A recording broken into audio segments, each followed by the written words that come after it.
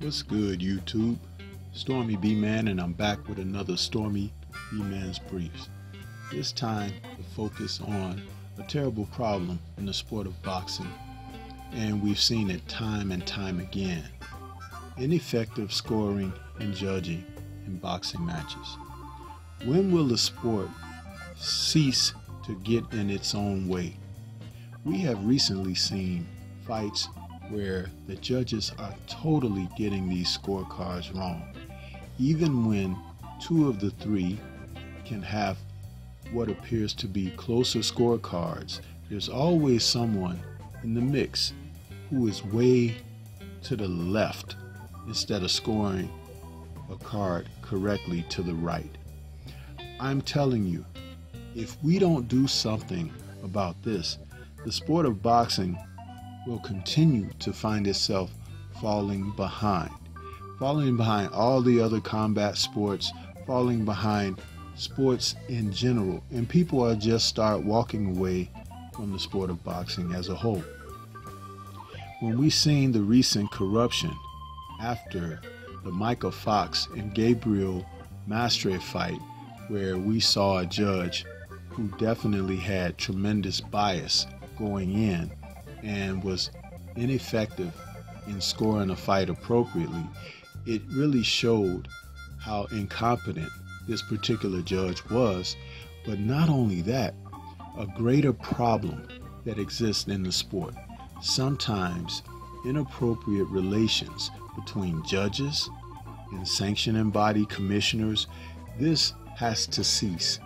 No matter what a fighter does to get himself in, in shape, denying himself the pleasures of life to dedicate himself to be disciplined, to be ready for that night, only to have a judge with complete prejudice take something away from them. This has to go away, people, and it has to go away fast.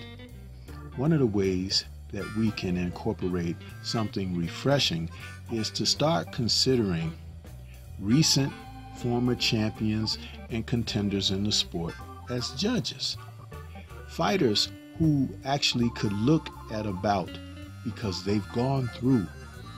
And they can look to take the opportunity to score fights on the merits of boxing how it's scored.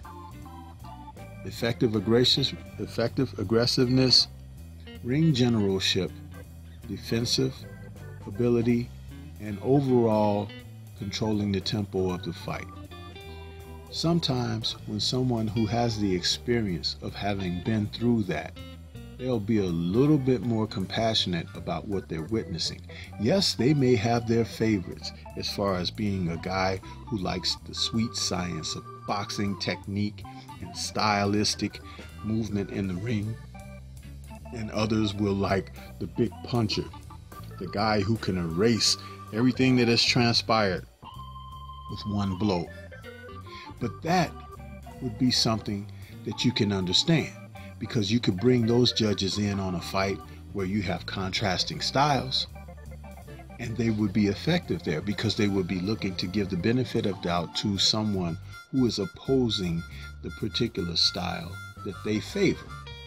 But these judges who know absolutely nothing about boxing and they are reflecting this in their scoring, they have to be weeded out and they have to be put away from the sport.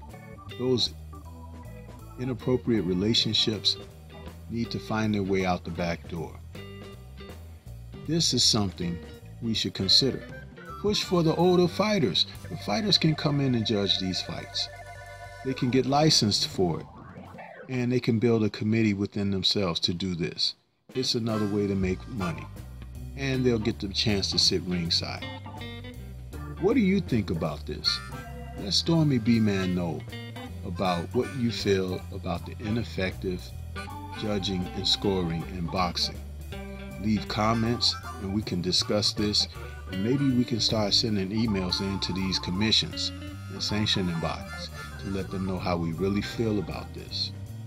This is all I have for you at this time. Until the next time we speak, peace and everyone please remain safe.